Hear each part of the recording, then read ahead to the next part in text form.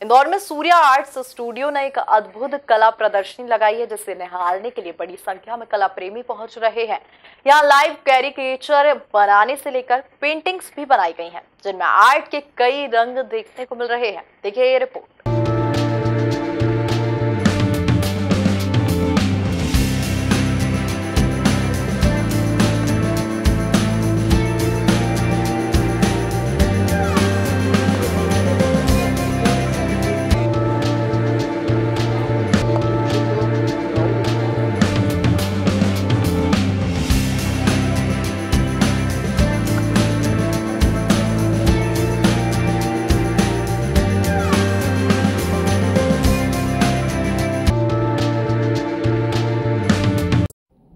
Surya art studio ने कैनरीज gallery में एक बेहतरीन कला प्रदर्शनी का आयोजन किया है।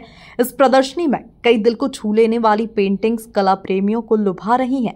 पिछले कई सालों से इसी क्षेत्र में अपना नाम बना चुके सूर्यभान मरावी यहाँ लाइव पेंटिंग्स और मूर्ति का निर्माण भी कर रहे हैं, जिनसे युवाओं को भी काफ़ी कुछ सीखने को मिल रहा है। इस आयोजन की कमान क्यूरेटर पूजा सिंह ने संभाल रखी है, जिनसे बड़ी संख्या में आर्ट स्टूडेंट्स जुड़े हैं, जो इस नायाब कला को सीख भी रहे हैं।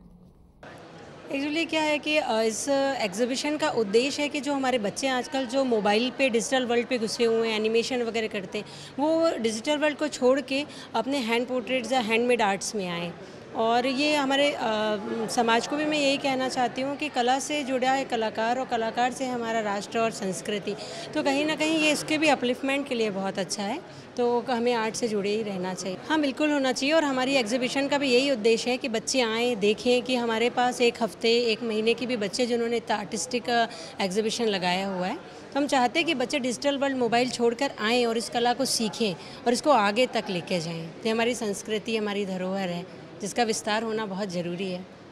इस आर्ट फ़ील्ड में तो मुझे पाँच छः साल हो गए हैं। एग्जीबिशन अभी हम स्टार्टिंग पे ही लगा रहे हैं। और इसमें 40 से ज़्यादा स्टूडेंट्स ने भाग लिया जिसमें 80 से ज़्यादा पेंटिंग्स है जिसमें अमूर्त कला है म्यूरल्स है ऑयल पेंट है पोर्ट्रेट है चारकोल कला है ये सारा कुछ है।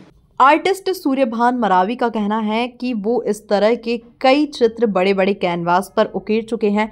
साथ ही कई मौक़ों पर लाइव मूर्ति निर्माण के कीर्तिमान भी उनके नाम हैं। सर, मैं सबसे पहले स्केचिंग पेंटिंग करता था और अभी मैं इसी साल से स्कल्पचर स्टार्ट किया हूँ।